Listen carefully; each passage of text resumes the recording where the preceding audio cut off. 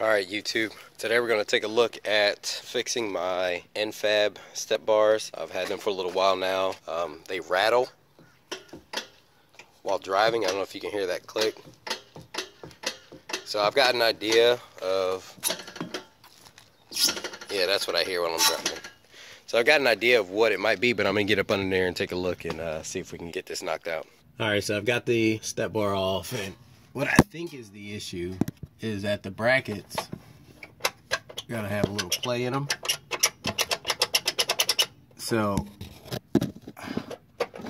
what I'm gonna try to do is I'm gonna try to figure out something to fill out that gap on these brackets so it doesn't do that. So while it's because while the truck is driving, they're just they're just vibrating and rattling. So I'm gonna see what I got. I might run to the depot, Home Depot, and see what I can find. All right, so this is a solution I've come up with. This is a sponge window seal, uh, 3 eighths by 3 fourths uh, from Home Depot. Here's the packaging, just sponge window seal. So just cut a strip long enough to span both brackets, and I've already done it put the brackets back on over here. It's kind of tough getting the brackets on over top, but it does the job. No more shaking, no more rattling. I should be good. I'm excited.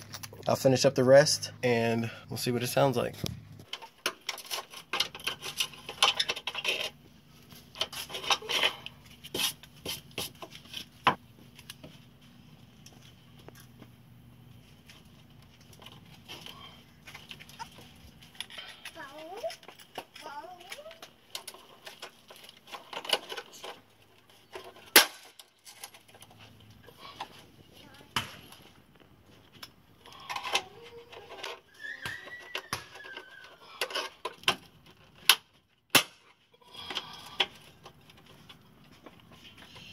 All right, there we go. We're mounted.